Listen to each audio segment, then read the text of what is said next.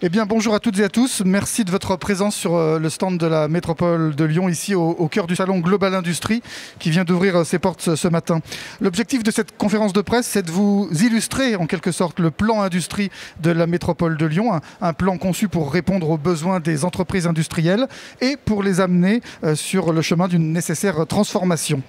pendant une première partie, le président de la métropole de Lyon, Bruno Bernard, bonjour Monsieur le Président, échangera avec quatre acteurs industriels que je vous présente Alexandra Mathiolon pour Serfim, euh, Philippe Rosier pour Symbio, euh, Bruno Volant pour euh, Tracé et l'UIMM Lyon-France et Stanislas Lacroix pour Aldes et la ruche industrielle. dans une demi-heure vers 15h, ces acteurs et quelques autres ici présents feront partie des premiers signataires d'un manifeste pour une industrie engagée sur le territoire. On en dira un petit mot tout à l'heure. Et puis vers 15h10, 15h15, tous ici répondront à vos questions, messieurs et mesdames les journalistes. Euh, Bruno Bernard, bonjour. Vous êtes le président de la métropole de Lyon. Euh, un mot d'accueil pour débuter? Bonjour à toutes et tous, très heureux d'être avec vous aujourd'hui parce que c'est le retour des salons à Eurexpo et que c'est très important pour l'événementiel, pour le tourisme d'affaires et très heureux qu'on commence avec l'industrie qui est une thématique et un enjeu très fort sur le territoire. Alors le plan euh, industrie de, la métropole de Lyon tient en quatre axes. Ils sont euh, développés sur les panneaux qui sont euh, autour de vous. Et puis on, en parle pendant ces quatre jours sur Global Industrie. et dans ces quatre axes, il y en a un qui s'appelle accueillir l'industrie. Accueillir l'industrie et renforcer son accessibilité. Et on va commencer avec cet axe justement, l'accueil des industriels. Et avec vous, Alexandra Mathiolo, bonjour. Merci beaucoup d'être avec nous aujourd'hui. Vous êtes directrice générale de Serfim. Un mot pour commencer rapidement sur la nature de vos activités, de votre groupe euh, Serfim est une entreprise de taille intermédiaire indépendante de 2400 collaborateurs engagés sur tous les métiers des grandes transitions énergétiques, environnementales, numériques et sociales. Alors, euh, on vous a demandé d'intervenir sur ce volet, sur cet axe accueillir. Quels sont, selon vous, et pour votre entreprise, et même pour votre secteur, les enjeux autour du foncier industriel? Alors déjà, c'est, je pense, une évidence pour tout le monde euh, ici. Euh, évidemment, on a besoin d'industrie sur, les, métropoles. Elles génèrent énormément d'emplois et, évidemment de, produits. Et d'autant plus si on veut le faire avec des circuits courts, la préservation des ressources et la limitation des émissions. en plus, beaucoup d'activités sont euh, de par nature très liées, en tout cas c'est le cas chez Serfim, aux activités des métropoles, la gestion des déchets, euh, euh, les canalisations d'eau, l'énergie. Euh, les difficultés euh, qu'on a, bah, c'est évidemment de faire déjà cohabiter en fait toutes ces euh, activités et avec des besoins nombreux et très larges et tout en essayant de préserver aussi au maximum, bah, évidemment les terres agricoles aujourd'hui dans les métropoles qui sont de plus en plus rares. Et puis bah, les industries, elles sont aussi parfois ont des nuisances, hein. donc ça peut être les poussières, le bruit, les odeurs, et donc forcément parfois un peu d'incompréhension avec les riverains. Donc en fait c'est pour ça qu'aussi les industries ont tendance à s'éloigner des métropoles, pas, de place pour s'implanter, des prix trop élevés et des contraintes trop fortes en matière euh, de voisinage. Et donc, bah, du coup, pour nous, chez Serfim, le meilleur exemple que je peux donner, c'est celui des activités de recyclage, qui clairement, en fait, euh, ont besoin d'être à proximité des métropoles pour traiter les déchets en circuit court, limiter les, déchets, et que même si on essaye bah, de travailler avec euh, bah, les habitants euh, autour euh, sur les nuisances, c'est difficile de complètement les arrêter. Donc c'est un travail important. Et puis même sur l'ensemble de nos métiers, euh, on a des problématiques de recrutement qu'on évoque régulièrement. Et le fait de rester à proximité des métropoles pour attirer les talents, c'est un enjeu qu'on a très régulièrement. Très bien, vous illustrez en plus plusieurs axes de cette stratégie, c'est très intéressant. Il y a des enjeux notamment en termes de dépollution alors très clairement, euh, donc on, est aussi présent sur les activités de, dépollution. Euh, déjà pour moi, la dépollution, c'est le c'est un axe essentiel pour faire cohabiter parce qu'il faut permettre de dépolluer pour faire accueillir en toute sécurité un, nouveau site. Euh, c'est un point central, notamment lié en fait à la reconversion des friches industrielles. Je pense qu'il y a encore un vrai axe fort parce qu'aujourd'hui il y a énormément de terrains qui ont eu des vies industrielles sur, dans le passé et qui aujourd'hui ne sont pas réutilisés. Euh, donc euh, moi je pousse beaucoup pour pour trouver en fait des solutions par rapport à ces coûts de pollution qui sont aujourd'hui trop élevés et qui du coup font qu'on va alors qu'il y a des projets qui pourraient avoir du sens, aller plutôt chercher d'autres terrains, euh, voire des terres, des terres agricoles. Donc c'est pour ça que c'est essentiel de, pousser sur ces terrains, ces friches industrielles. Puis évidemment, le, le problématique de la dépollution, c'est que ça peut nécessiter du temps. Et le temps, les, produits, les projets immobiliers, ils n'en ont pas forcément. Donc il faut du temps pour traiter localement les déchets. Et c'est pour ça qu'on trouve de plus en plus de solutions, mais qui vont nécessiter du foncier, du foncier à proximité pour traiter, délocaliser les terres, mais pas trop loin, les traiter, euh, les recycler euh, et les refaire partir. Un mot sur euh, votre projet de plateforme Terre en Vie. Tout à fait. Bah, c'était un peu l'exemple donc, que, je, prenais. Notre filiale euh, Serpol euh, a créé un partenariat qui a permis de rassembler à la fois des acteurs privés et publics, donc, euh, notamment avec le groupe Vika, qui est aussi présent et signataire aujourd'hui, qui assure notamment une partie des débouchés des terres dépolluées. Et puis aussi avec la métropole, qui a mis à disposition le foncier dans le cadre de l'appel des 30. et l'appel des 30, je pense que ici beaucoup le connaissent, mais ça permettait de, de traiter le contexte du périmètre d'activité dangereux euh, par le PPRT, le plan de protection des risques technologiques, qui, vous le savez, est extrêmement contraignant euh, et du coup qui, a permis de trouver des solutions proposées par les acteurs privés euh, sur ce sujet. Et puis aujourd'hui, concrètement, quand même, euh, euh, euh, Terre en Vie, c'est à peu près 3 hectares. Donc nous, on est ravis d'avoir ce foncier à, disposition. Pour la métropole, c'est du foncier qui est quand même utilisé. Et puis pour nos clients, c'est des solutions de proximité. Il faut savoir qu'aujourd'hui, plus de 63% des terres viennent de la métropole et 95% de la région. Très bien. avant de passer la parole au président de la, métropole, à votre avis, quel rôle peut jouer cette collectivité pour euh, ce sujet Alors, pour moi, il y, a, trois choses, évidemment. C'est d'être à l'écoute, hein, à l'écoute des industries locales, en comprendre les besoins, euh, les contraintes et les enjeux. Il y a un deuxième rôle qui est celui d'intermédiaire, parce que c'est, on n'a pas forcément le temps d'être au courant de toutes les opportunités, de, connaître, de connaître euh, les, solutions qui peuvent arriver. Donc un rôle finalement de, mise en contact. Et puis le troisième, évidemment, de réunir toutes les conditions pour, pour nous permettre de travailler le mieux possible en termes d'infrastructure, accès à l'énergie, à la, fibre, à la fibre, au flux de matériaux, au transport en commun. Il y a encore euh, un peu de travail là-dessus aussi. Merci Alexandra Mathiolon. Bruno Bernard, quelle est la position de la métropole sur l'accueil des industries? Eh Tout d'abord, je souhaiterais affirmer euh, le rôle industriel de la métropole de Lyon. Nous souhaitons conserver des industries et les développer à la métropole de Lyon. C'est d'abord un enjeu euh, environnemental et social. Produire ici en France, c'est garantir des normes euh, c'est garantir des normes sociales qu'on n'aura pas à l'autre bout du monde. C'est un enjeu environnemental aussi pour limiter euh, les transports et l'impact carbone des productions. Et puis, c'est une d'autonomie. Aujourd'hui, quand on voit qu'on a des chaînes de production automobile qui sont bloquées à cause du manque de cartes électroniques qui viennent de l'autre bout du monde, nous avons un souci. Aujourd'hui, quand on veut assembler un vélo sur l'agglomération, mais qu'il faut plus d'un an pour avoir certaines pièces, comme simplement des freins, on s'est quand même un peu trompé de modèle.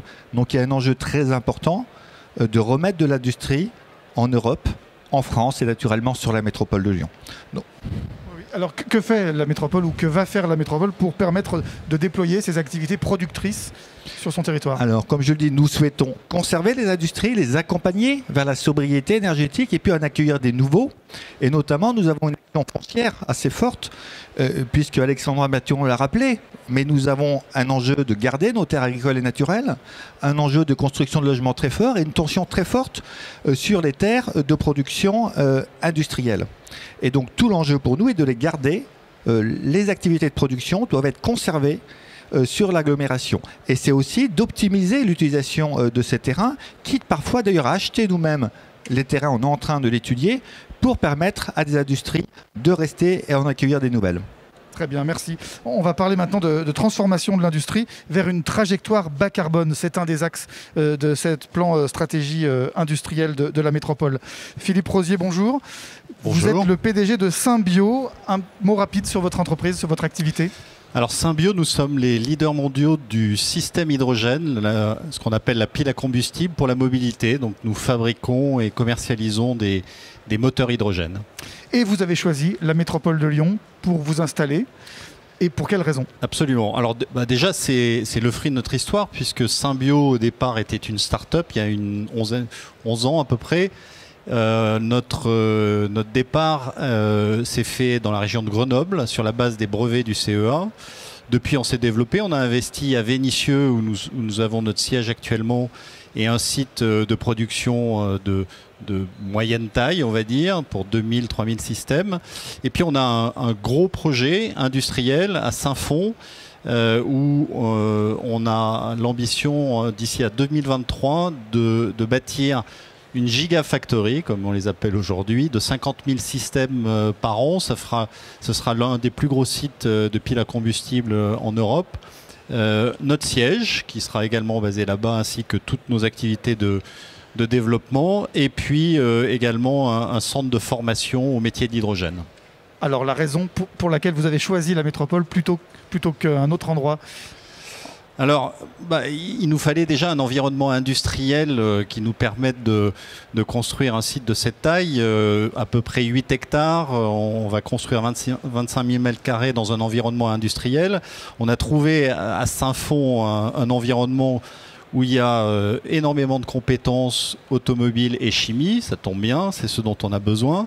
1000, euh, salariés euh, dans, les, années qui viennent vont bénéficier de ce projet. Il fallait aussi beaucoup d'hydrogène. En fait, la fin de notre production consiste à roder nos piles. Comme, comme on le fait actuellement dans les, les véhicules thermiques. Donc nous, on le fait de façon contrôlée. Donc on a besoin beaucoup de, beaucoup d'hydrogène, euh, d'hydrogène évidemment vert, et, donc euh, ce site-là était, important pour nous. Et puis enfin, on a trouvé un, territoire où euh, les élus locaux, régionaux, la métropole, la région nous apportent beaucoup de soutien. On a besoin bien sûr d'aide pour se développer rapidement. On a aussi besoin de construire un écosystème hydrogène avec, avec l'amont, la production. bref, un, un terreau fertile pour nous. Euh, merci. Au-delà de votre activité euh, particulière, quel est, selon vous, j'imagine que vous avez ce regard-là, euh, les enjeux de la décarbonation de l'industrie? Bon, alors déjà, je pense qu'on est on est tous d'accord pour dire que le, changement climatique, la lutte contre le changement climatique est une priorité. L'Europe est, pionnier dans, ce domaine, puisque on serait le premier continent euh, mondial à prendre des objectifs zéro carbone à l'horizon 2050. Euh, dans ce cadre-là, euh, l'industrie, ça représente beaucoup d'efforts, ne serait-ce que sur, sur l'acier, sur le ciment, sur euh, sur euh, euh, certains composants de la chimie. donc l'hydrogène amène une décarbonation accélérée, là où, où ces industries n'ont pas pu aller jusque-là. Et puis sur les transports, 25% des émissions en Europe, on a besoin d'hydrogène comme complément à l'électrique pour accélérer le, la décarbonation de la flotte. Même question qu'à Alexandra Mathiolon. Selon vous, qu'est-ce qu'une collectivité comme la métropole de Lyon euh, peut faire pour euh, accélérer, pour euh, favoriser ces sujets? Bah, Continuer à nous aider, bien sûr, à, nous développer.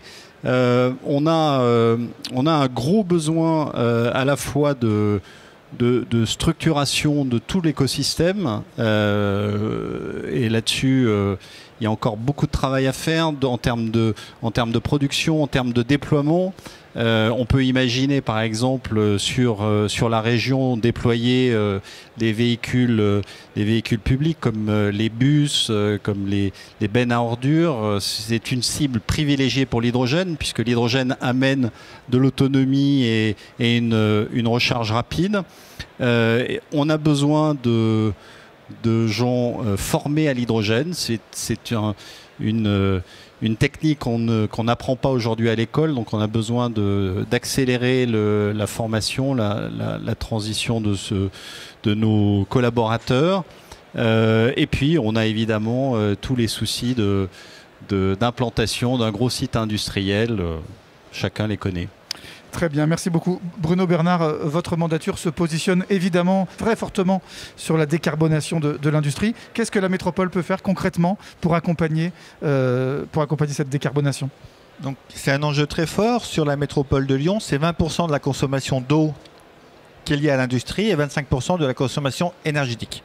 Donc on est vraiment sur un sujet majeur et c'est bien le rôle euh, des industriels de se transformer avec l'aide l'Europe, de l'État, des collectivités locales.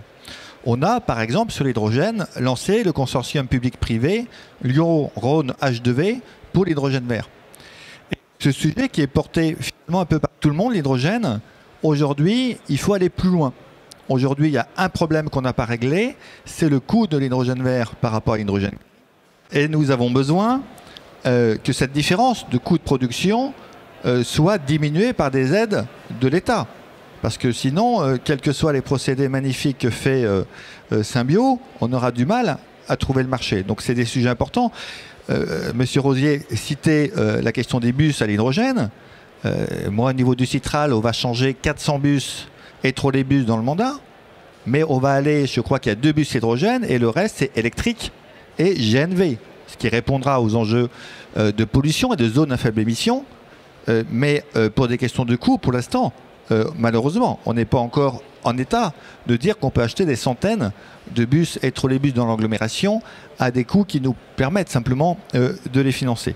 Et puis il y a aussi la question de la chaleur fatale dans les vallées de la chimie, qui est la chaleur que produisent les process industriels, qui parfois sont refroidis d'ailleurs et donc qui coûtent à l'entreprise, où il faut voir comment on arrive à trouver le juste milieu euh, pour pouvoir enfin récupérer cette chaleur, notamment pour nos réseaux de chaleur. Euh, pour ensuite euh, pouvoir chauffer les logements, par exemple. Et ça, ça nécessite aussi une prise de risque des industriels, des investissements, et ça ne peut pas être que la subvention publique qui permette de porter ce projet, mais naturellement. Nous sommes là et euh, nous étudions d'ailleurs et nous finançons les études depuis déjà de nombreuses années, mais il faut aussi qu'on arrive à avancer dans ce domaine. Troisième axe, euh, la reconnexion de l'industrie aux, habitants. Euh, on va donc parler maintenant de, euh, cet axe avec Bruno Volant. bonjour Bruno Volant, vous êtes PDG de Tracé, mais aussi président de l'UIMM Lyon-France. Quels enjeux pour la reconnexion de l'industrie aux habitants et sur l'attractivité de, ces métiers industriels? Bonjour à tous. déjà un petit mot. Hein, L'UIMM, rien que sur le Rhône, c'est 60, 60 000 salariés. Et la région, la région Rhône-Alpes, c'est la première région de sous-traitance industrielle des métiers de la mécanique. Alors comment reconnecter et surtout qu'est-ce qu'on attend de la métropole? Euh, Déjà, la maison de l'industrie est, complètement en synergie et en connexion avec la métropole. Et on attend de mettre en place un maximum de projets sur l'attractivité de nos métiers. On a un peu de chance parce que depuis quelques années, on n'a jamais mis autant en avant l'industrie. Hein, on a souvent été les, les mis de côté, hein, parce qu'il y a eu quand même une désindustrialisation incroyable. Et c'est vrai que depuis quelques années, on met en avant l'industrie, on met en avant nos métiers, qui sont des métiers extraordinaires. Hein. Aujourd'hui, on parle de digitalisation. Et si on parle même de salaire, hein, si on peut regarder les salaires de, l'industrie, qui sont des, salaires très très intéressants, on le dit peut-être pas assez aux jeunes. Ce sont beaucoup de nos métiers sont féminisés aussi. Et donc, avec la métropole, euh, nous allons euh, lancer euh, un tas d'actions. Et ces actions vont commencer dès les petites écoles, dès les collèges, dès les lycées, etc. Déjà pour euh, montrer nos métiers, expliquer nos métiers. Et nous, les chefs d'entreprise, on va aussi ouvrir nos entreprises. On a déjà commencé d'ailleurs. Et euh, ça va être tout un travail. vous connaissez, vous, une région qui a une ruche industrielle, une métropole qui a une ruche industrielle comme on a? Vous connaissez une région qui a des filières technologiques comme l'hydrogène, et j'en passe, il y en a beaucoup d'autres. Nous avons aussi des, fonds d'investissement hein, qui vont aussi nous aider à, se développer. Donc on est vraiment sur euh, une métropole et une région très dynamique pour l'industrie. Donc avec la métropole, nous allons euh, lancer toutes ces actions. J'en profite parce que je suis le représentant national euh, au niveau de l'industrie pour les World Skills. Je ne sais pas si tout le monde connaît les World Skills. Hein. ça va être un, événement extraordinaire. Les Jeux Olympiques des métiers. les Jeux Olympiques des métiers extraordinaires qui va avoir lieu ici en 2024 et qui est euh, un des premiers acteurs euh, d'origine, hein, parce que moi je suis monté euh, à Kazan défendre la candidature de Lyon avec la métropole. Donc on va aussi profiter de ce fil rouge pour mettre en avant tous ces métiers. Et là, ça dépasse l'industrie, bien sûr. Ça dépasse complètement l'industrie. Merci. Bruno Bernard, en quoi ces questions d'attractivité des métiers concernent-elles la métropole? Alors, Monsieur Volant l'a rappelé, euh, les emplois industriels, c'est très important sur la métropole, 75 000 emplois. En plus, c'est beaucoup plus de CDI que d'autres activités. Et c'est des salaires moyens qui sont plutôt plus élevés que d'autres activités. Donc, ce sont des métiers qui, factuellement, sont attractifs. Et il y a par contre une image dans la population euh, de l'industrie euh, qui ne correspond pas à sa réalité.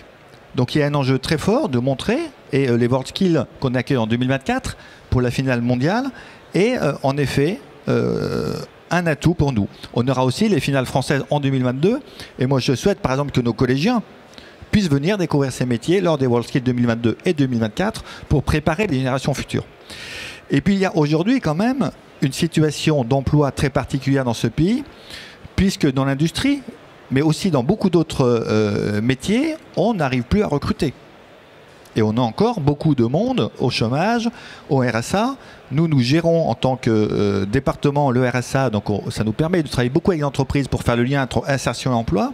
Mais il y a quand même un sujet de formation où aujourd'hui, on voit bien qu'il y a de plus en plus de formation interne, il y a l'apprentissage que l'État a développé de façon très positive, c'est une bonne chose, mais qu'il faut aussi qu'on refasse de la formation plus traditionnelle en lien avec le besoin des entreprises et qu'il faut que notamment euh, la région Auvergne-Rhône-Alpes revienne mettre les moyens nécessaires pour cela.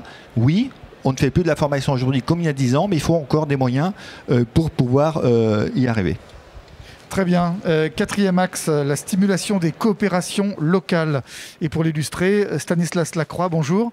Vous êtes PDG d'Aldes et vous êtes ici surtout comme président de la ruche industrielle. Vous pouvez nous rappeler justement, euh, Monsieur euh, nous interpelle là-dessus. Est-ce que vous connaissez une région qui a une ruche industrielle? Alors, est-ce que vous pouvez nous rappeler ce que c'est que la ruche industrielle? Alors, est-ce que je connais une région qui a une ruche industrielle? Non, puisque c'est un modèle unique. Alors, qu'est-ce que la ruche industrielle? Euh, C'est une association, c'est un collectif euh, qui s'est formé euh, d'ailleurs et qui est né à Global Industrie en mars 2019. Donc, on, a un peu un retour sur nos terres. Et euh, on s'est retrouvé avec un, certain nombre de l'écosystème lyonnais, donc euh, avant tout euh, des entreprises industrielles. Certains d'ailleurs sont ici et sont signataires tout à l'heure de, cette, de ce manifeste. Avec la métropole aussi, avec l'INSA, avec une idée, c'est globalement on part de nos sujets, de nos agents d'entreprise, de nos irritants du quotidien, et c'est comment ensemble on coopère, on travaille, on émule l'ensemble de ce que l'on a avec nos experts pour être capable de trouver des bonnes réponses à implémenter dans nos ateliers. Donc c'est euh, une démarche extrêmement pratique qui a pour objectif de faire bouger par l'intérieur nos entreprises et de les pousser vers cette industrie du futur. Alors c'est très intéressant parce que ça réunit y compris des gens qui peuvent être euh, en compétition sur, euh, sur, leur, sur leur business, sur leurs modèles commerciaux, mais qui peuvent avoir, comme vous dites, des, irritants communs et, des sujets communs qu'on qu'on peut traiter ensemble. Tout à fait. Notre, notre objet, hein, c'est de... On ne travaille pas sur nos métiers, on travaille sur nos process industriels. Et c'est ce qui fait toute la différence, c'est qu'on est bien sûr pour certains, alors il n'y a pas de compétition directe, mais on peut parfois en proximité de métier, donc ça pourrait générer en effet de la, de la compétition. Et en fait l'objet n'est pas là, on s'aperçoit qu'on a tous un enjeu qui est de travailler à faire évoluer, à faire grandir, à faire avancer, à innover sur le plan industriel. Et on se retrouve sur ce sujet-là euh, tous ensemble. Donc c'est pas de la compétition, c'est vraiment de la collaboration, de la coopération. Il y a un mot euh, qui a été inventé comme ça, un mot valise euh, pour la coopération dans la compétition, c'est la coopétition. Oui, alors j'ai un peu découvert votre, votre, mot. Je me demandais un peu euh, ce que, sur quoi vous vouliez m'emmener. Non, non, c'est vraiment ce que, ce que vous avez dit. Oui, et je sais pas, nous on se qualifie pas en compétition en fait, on se qualifie en émulation. On est là pour travailler ensemble. Euh, la, ruche, c'est une vraie formule en fait. Hein. C'est euh, l'alchimie de gens qui ont envie, qui ont envie ensemble de découvrir, de découvrir globalement les technologies et les techniques qui nous sont ouvertes. Donc on découvre ensemble. On le fait dans un tiers-lieu, c'est-à-dire qu'on n'est pas dans nos entreprises, mais si bien sûr on va dans nos ateliers ensemble découvrir les choses, mais on a ce lieu unique qui est euh, sur les anciens euh, terrains de Bosch Rexroth. Euh, et là, c'est un, lieu qui nous permet de voir différemment les choses ensemble et surtout de faire ensemble. Donc on, prend l'ensemble de ces irritants, on les travaille, on organise et on fait ensemble avec nos experts. Et alors, avec cette méthode, est-ce qu'on peut avancer notamment sur des sujets de nature environnementale? L'environnement est indissociable du monde de l'industrie, des activités productives, dirait Emeline. Petit clin d'œil pour Emeline. Euh, c'est indissociable. On ne peut pas parler d'industrie si on ne parle pas d'hommes, d'environnement, de social et de sociétal. Donc, euh, on, ne dissocions jamais les deux. Donc pour nous, euh, dans nos sujets, on traite les sujets de l'environnement, environnementaux, comme on va traiter nos sujets de technologie et les sujets d'impact sur les organisations et les hommes. Un mot sur l'expérience d'Aldes que vous présidez au sein de la ruche industrielle. Alors, notre expérience, c'est justement celle d'une entreprise qui a démarré euh, le sujet de l'industrie 4.0 à peu près comme beaucoup d'industriels en disant c'est très gentil, c'est un mot, mais globalement, qu'est-ce qu'on va en faire? Euh, donc une volonté en tout cas euh, du dirigeant que je suis de se dire bon il faut faire bouger les lignes, il faut avancer, il va falloir mettre nos industries à niveau pour être compétitifs, attirer, pour être plus insérés dans notre écosystème, dans l'environnement, mais comment on prend les choses? L'avantage de la ruche industrielle, c'est qu'on a trouvé un collectif qui avait à peu près ces mêmes questions et qui, ensemble, en fait, a pris ces thématiques-là et a commencé à s'organiser avec une vraie méthodologie.